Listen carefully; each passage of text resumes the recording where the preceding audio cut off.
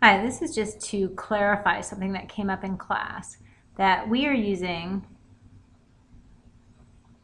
SOH, CAH, TOA, okay? Just as a uh, way to remember when we use a cosine or sine. Now, SOH means sine is equal to the side opposite the angle over the hypotenuse.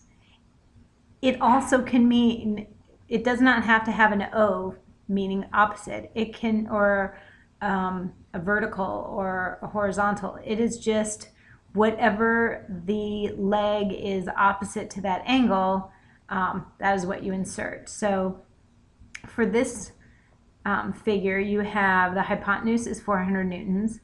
There's one leg that's called fx, the second leg that's called fy. The angle that you would use is a 60 degree angle. So the leg opposite for the O in SOH is fy.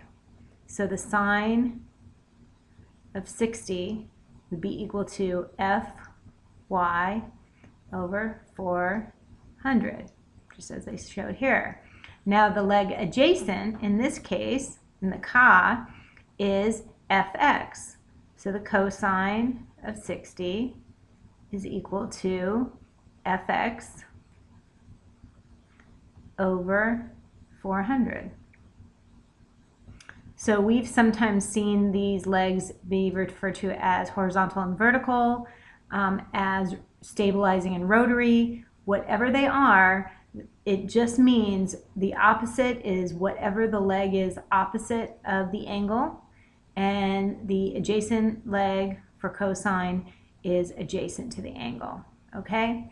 If the angle were here, if you were dealing with this 30 degree angle, the angle opposite would be fx, and the angle adjacent would be fy. Okay, let me know if that doesn't clarify it.